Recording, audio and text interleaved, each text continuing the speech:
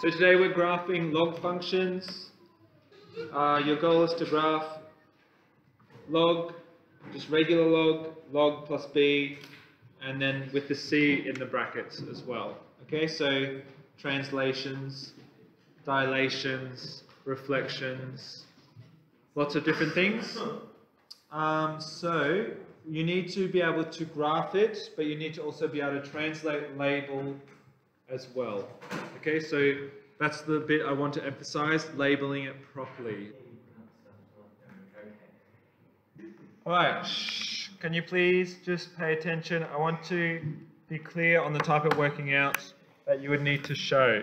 Okay, so this is a sketching question. Okay, so you need to show what the x-intercept is. You need to show what the y-intercept is.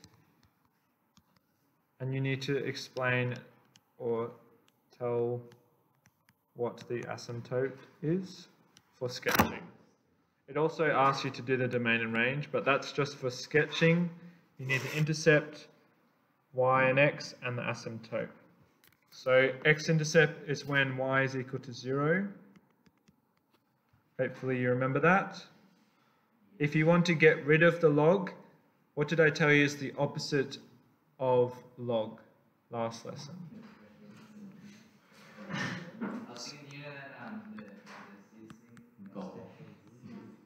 So if this is the new equation, remember I said you can do whatever the base is as the base.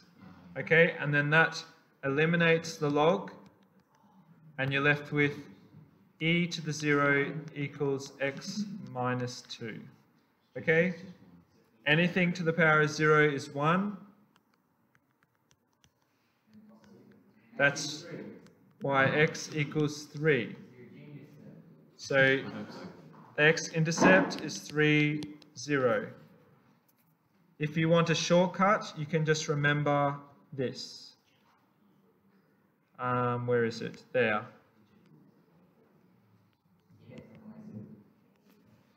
The x-intercept is 1 minus c.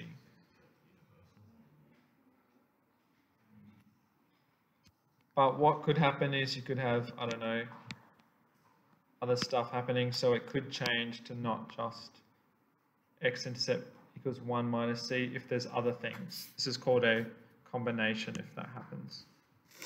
Okay, so that's why I wanted to show you that process there, so you can at least determine the x-intercept using algebra.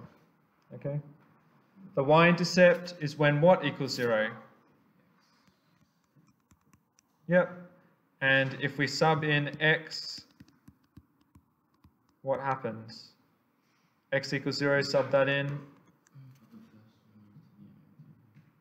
Can you have log of a negative number? No, so it doesn't exist. It never crosses the y-intercept, okay? Last one is the asymptote. So when does the asymptote occur? We can just use this.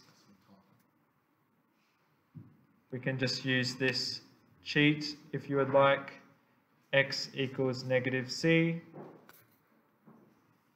What's the c value in this equation? So x equals positive 2. Okay? Negative c. The c is negative, so it becomes positive. Does that make sense? All good. Just ask if you're not sure. Okay, and now we can sketch it. So we have, that's the type of working out that I expect these three points. Oh, I didn't even, oh, it doesn't exist. Those three, I need to see somewhere to get those three marks. You don't have to do this algebra, but I expect to see those three, okay? You can go back to the questions if you would like, or you can watch me slowly draw it. Okay, so it's limiting at x equals 2, so it looks something like that, okay? and see how I've labeled the graph as well.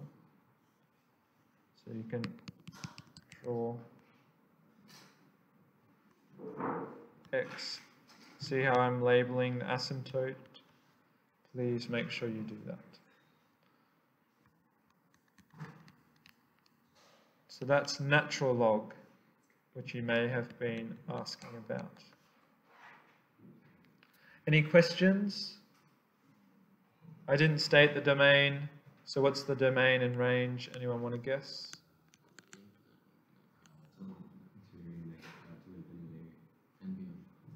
So it goes from 2 to infinity, and the range is, we can just use some set notation. The range is capital R. Hopefully you remember what that is. Real numbers, yeah. Okay. Any questions? I just thought I'd go through one example so you at least got the idea of the working out that I expect. Those circled parts and this graph with the labels. Okay.